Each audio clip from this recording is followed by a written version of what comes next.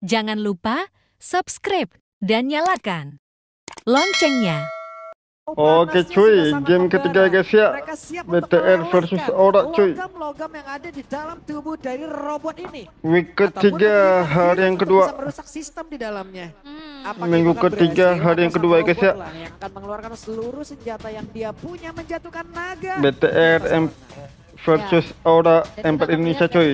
Segi counter index dan line up rating Season ya, 13. sempat diunggulkan sama teman-teman dari Bigetron. Ya, tapi sebenarnya dari counter indexnya kita cuma bisa melihat bagaimana di awal dan akhirnya ya. Yep. Di mana siapa yang bakal bisa pegang di early-nya dan kalau kita melihat seperti ini early-nya kemungkinan besar akan dipegang oleh Aura dengan kehadiran Glue untuk melakukan zoning. Yep. Glue, Land of Dawn pun sudah terlihat di layar kita Glue, masing-masing. Glue Aran. Game yang ketiga, pembuktian akankah menjadi milik Bigton Alpha atau menjadi milik Aura. Jadi kira-kira kita mau nanya dulu nih, untuk Bigton Alpha atau untuk Aura? Gak kedengeran Aura atau Bigton Alpha? BTR atau Aura guys. Aura atau Bigton Alpha? Oke kalau begitu MPL Arena, mana suaranya? Oke. Dan terlihat Oke. kali ini Aye alias Ki mencoba untuk melakukan adanya sedikit gangguan terhadap pattern farming yang dilakukan oleh Gugun. Tuh Yawi tuh ngajak temenan tuh bang, temenan Sama, bang. gantian. Bang Ken, kiu gitu. Nah, ini balik lagi barrier kan bisa nge-reset ya kan? Mhm. Bisa ngeganggu bagian putar balik. Tapi untuk sejauh ini Iya, dengan Dok. adanya agresivitas antara kedua romer ini masih bisa ditanggulangin sih. Ya, super Ken juga dari jalur dia, dari orange langsung ke purple, eh, purple dan langsung nyebrang ke atas. Yep. Dan Yawi berhasil tadi langsung ngebadanin juga ke arah. Uduh sakit banget juga ditembak Iya, barusan ya. tapi nggak dapat ya janggalnya tadi ya. Masih ada retribution juga terakhir yang digunakan oleh Gugun. Sedangkan kali ini Masih di sabar-sabar. Goblin, Balik lagi, Kabuki harus setidaknya bermain lebih aman aja sih. Ya, dengan Aman, Ki. yang memang dipakai ya, standar untuk cloud juga untuk bisa menciptakan eh, ruang gerak bagi dia agar bisa sustain Aman Ki. setidaknya di lane dia sendiri. Wah, dia lane. Sementara itu sekarang di bagian tengah kinya. Wah, dia lane, manggil. Mbak mati gila cuy.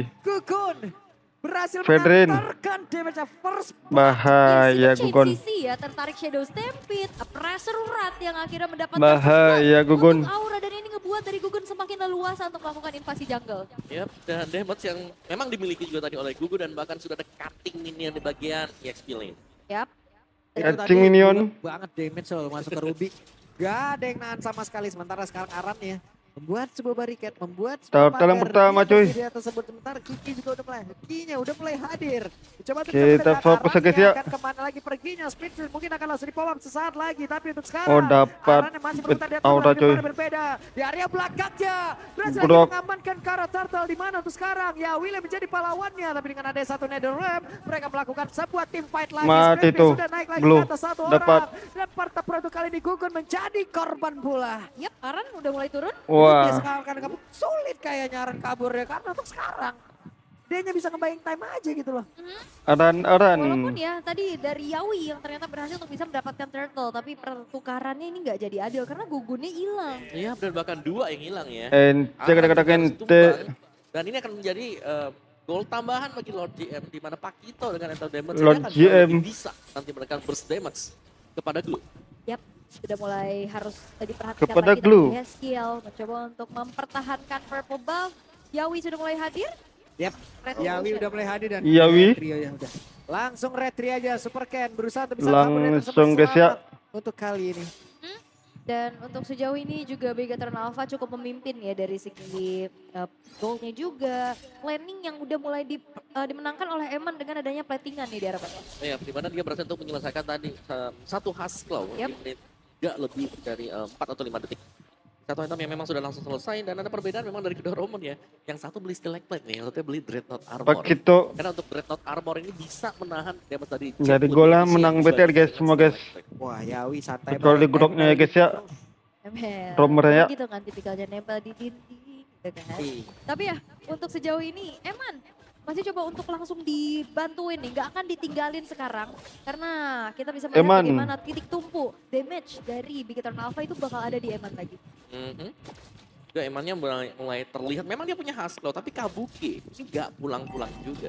Dia bisa sustain berkat basic common emblem dia. Tadi juga jelas kita melihat ada Swift Crossbow Yep. yang sudah dibeli oleh Kabuki. Jadi Basic common emblem. Wah gila begitu. sekarang Aran flicker masih selamat split split. Bisa Wah, mati kok Dede. Aran. Mati kode deh. Yap, itu kayaknya ada flicker juga yang memang digunakan untuk membawa Aran ke dalam turret sebagai salah satu bala bantuan. Sehingga akhirnya Arannya hilang di saat setup ke arah turtle. Ya, dan memang ada kata seadanya kalau gak ada flicker tadi jelas Lord GM akan tertarik dengan slam-slam yang dipakai. Wah, Dan ada dua orang yang gila. merasakan bagaimana tampolan dari Lord James. Sakit banget Lord itu. GM. Dan bahkan kali ini Gugun dan Yawi lebih memilih untuk merelakan saja turtle-nya da- Begitu. jatuh dari Super Ken kali ini. Ya, satu Fury Mani Hammer ya, Pakito. Kita lihat di badan dari Pakito dari Lord JM ini sakit banget ya. Yep. Dengan double jab juga yang memang sudah ditambahkan dari damage-nya dia. Champion Steins plus 100 yang biasa plus 50 damage. Sabar cuy, sabar cuy, sabar cuy. Bisa clear lane buat bisa memberikan damage. Moreno berhasil mengantarkan tadi Astrospil Tenang, cuy, tenang, cuy, tenang, cuy. Tapi barusan coba lihat akan ada Netherrealm yang bisa menyelamatkan semuanya dan Super Ken yang berada tepat di tengah-tengah pusat defense yang dimiliki oleh pemain-pemain dari Aura tapi mereka dipaksa untuk mundur lagi dan tidak bisa mempertahankan karena outer tar yang ada di area bottom. Yap, itu banyaknya bala bantuan yang hadir dari Bigetron Alpha ya, terutama Super Ken. Di area bottom. flanking dari arah belakang. Dan balik lagi, di sini arannya sulit untuk bisa melakukan bala, eh, melakukan bantuan kan. Buat backupnya agak berat karena dia kalah laning nih sama Lord JM. Ya, dan beda ya kan. Kalau glue, kita bicara glue, ini agak lambat untuk proses clear lane. Wow. Udah mulai Blue. merasa damage ya. Ke Yawi itu ya. Iya, dan Kabuki juga butuh waktu. Ya, Lord butuh GM. Untuk bisa eh, membuat tim fight-nya bisa unggul bagi auranya. Dan Lord GM kembali cukup lincah dengan fleksibilitas, mobilitas yang dimiliki oleh Pakito. Ya untungnya barusan juga masih ada Gila. ya. Mani Pacquiao. Langsung dari atas tersebut setelah tertarik oleh Mani Pakito. Kena Shadow Stampede. Tapi ya untuk sejauh ini fight jangka panjang memang masih belum terjadi ya dengan Hmm. adanya Faramis dan bahkan Netherrealm juga belum terlihat untuk bisa ngebantu teman-temannya. Ya belum kelihatan sama sekali memang ya karena dari eh, tim fight-nya jelas dari Bigetron mereka lebih dulu untuk melakukan inisiasinya jadi lebih ke yang bertahan sekarang auranya. Di mana kita tahu di game kedua mereka bisa unggul jauh karena mereka yang melakukan serangan. Early-nya ya Ente Dengan adanya poke Dia buka yang semua, dilakukan cuy. uh, Novaria. Selain juga ngasih poking damage, dia juga kan bantu buka vision kan. Betul. Dan sayangnya juga dari sisi Aura nggak ada healer gitu untuk bisa menanggulangin damage yang disumbangin sama Moreno. Iya di atas Eman juga berusaha untuk bisa menumbangkan ya ke arah satu otot tarat lagi tapi sekarang turtle-nya sudah terlihat ada Gugun dan juga Aran serta dengan Yawi berada di dalam satu area YSKL memantau dari kejauhan mencoba untuk bisa memberikan backup namun Siapa yang dapat, cuy? ada satu otot tarat lagi yang berhasil dihancurkan Siapa yang dapat, cuy? dahulu Super Ken-nya pasang badan di tempat yang lain Lord CM-nya mengantarkan damage ke arah Wah, mana sekarang udah gila. lagi langsung dilakukan dan juga ada konsil pertempuran yang terjadi Aimon Fender dan dikeluarkan. Bro. ada juga ada lem langsung dikeluarkan begitu saja. Yawinya pergi ke area lain. Kabuki berusaha dengan menghilangkan satu web mina di bagian Wah, mati kok, cuy, cuy. dan tidak ada yang tumbang sejauh ini. Yap, usaha dari Aran mencoba untuk pegang ke arah Super Ken ternyata digagalkan. Yang justru di mana gugunnya, ini kena pegang Balik Om. Hmm, Balik. Dan itu menjadi kunci ya, tadi untuk Bigetron. Mereka akhirnya dapetin turtle-nya juga dan tim fight mereka ini Main bisa dulu, guys. sedemikian rupa dan Lord JM menyelesaikan satu Melvic Roar. First item dia adalah Hunter Strike. dulu, guys. Fokus untuk memberikan damage penetration. waduh ini dimulai Wah, lagi loh tapi sudah mengeluarkan satu flicker yang dia punya akankah Super Ken tetap maju dan juga memulai jalannya pertempuran karena Eman yang udah join ke dalam fight Hmm. dan Eman menghantarkan damage begitu Eman. meyakinkan gugunnya masih bisa bertahan Eman, begitu gila dapat begitu. Gila. ada dua orang yang langsung tepar Hajar ya guys ya. Yes, dan kali ini Begitu. Bigetron Alpha memimpin di 8 menit Lord pertama. Usaha dari Kabuki coba untuk bisa memirror adanya lane yang udah mulai terdorong. Ini cukup berat ya. Tabak aja lah guys. Karena banyak sekali damage yang bisa diciptakan oleh Bigetron Alpha. Dari Pakito Lord JM, dari Eman dengan volley shotnya. Ini punya potensi untuk Aduh. bisa pick off Wah, dapat lagi cuy. Sakit banget loh barusan. Hampir Dan mati Eman ya. ini seperti konsep di game yang pertama, Eman Betul. sekalinya udah ngedapetin satu otot di bagian bawah. Waduh, combo parah dia bisa ke mana-mana tuh. Super Ken, Bakia. yang yang dimenangin juga kan antara Bruno dan juga Cloud. Masih aman-aman sejahtera, coy. Dia punya space lebih banyak lagi juga, dia punya kemandirian. Masih aman-aman sejahtera cuy. ya, dengan hancurnya inner-inner turret milik dari Aura, bahkan belum adanya pun Lord yang muncul, ini makin berat lagi sih untuk Yawi pun berada di titik paling depan. Yep. Ketika eh, Yawi ini berusaha untuk mendekat juga dia udah di di Iya, rupa ya. Jadi untuk mendekat ini sepertinya butuh serangan kejutan juga. Aran yang bisa jadi menjadi Aran-aran. Wah, begitu. Wah, flicker lagi. Gila dapat. saja. Ada stiker yang udah dikeluarkan Lord Jam. Masih bisa bertanda tertemukan untuk waktu yang cukup lama sedikit lagi begitu tapi kabukinya Wah, mati kah tuh? bisa mengatakan damage. Lord GM Shutdown mati ya. Yap, tapi banyak banget research yang dikeluarkan untuk bisa komit ke arah Lord JM sehingga Bigatron cukup percaya diri untuk bisa langsung mengambil ke arah Lord tapi tabrakan terjadi. Tabrakan terjadi. Tabrak lagi, cuy. yang Tertinggal bisa ke arah bertanda dan split lead dikeluarkan namun wow. Netherrealm tertrigger.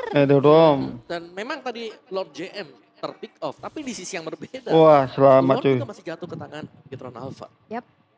Jadi untuk trade off-nya mereka masih unggul ya. Secara objektif dan juga secara eh, laning yang bakal mereka dapatkan sekarang ya. eh, base eh, Tara ini bisa menjadi serangan utama untuk Bigetron Alpha dan bahkan satu Guardian Helm. Helmet bagi Superman. dapat akan jauh lebih tanky dan membiarkan selesai, untuk melepaskan volley shot di belakang. Hmm, dikasih positioning dengan aman harusnya ya. Tapi satu buah shutdown sih tadi karena JM ini lumayan banget. Coba untuk nabung lah ya aura mempersempit lagi dari segi ketertinggalannya Oracle yang menjadi pilihan juga untuk Lord JM. Idi. Wah, dapat Kabuki masih bisa kabur dengan BMI yang dia miliki tapi coba lihat BMI. bola nyampe ke tubuh dari SKL hilang satu bar lebih loh itu. Wah Kabuki kena lagi lihat. Kena Astral Spear-nya udah jadi teror terus-terusan sih. Dan balik lagi ini membuat dari Aura harus pulang terus. Lord bagian atas cuy. Yawi harus maju tapi barusan konsil terlihat. Super Ken langsung Super saya Ken. mencoba untuk bisa memancing tapi Yawi kehilangan cukup banyak namun untuk sekarang Yawi Begitu lagi, cuy. dengan saat cepat ada remedi dikeluarkan. Gila, begitu ya, Kuku GM. menjadi korban kedua. Kinya menjadi Masih selamat, Biasnya kita, dihancurkan dan sekarang mulai duetnya dikeluarkan Ada lagi. tidak untuk waktu yang lama karena dari Lord JM-nya maju lagi Wah, gila, begitu. Hampir saja menembus arah tubuh dari Kabuki tapi Ki hanya ada Lord JM yang tumbang sejauh ini. Hanya ada dua player yang bisa bertahan untuk bisa membuat pergerakan yang dimiliki oleh Victor. Bam, tabrak lagi membuat begitu. Game yang ketiga di Aran. Wah, Yang gila, pula, Eman. Eman berfokus. Game yang ketiga menjadi pilih 2-1. sang Robot Man.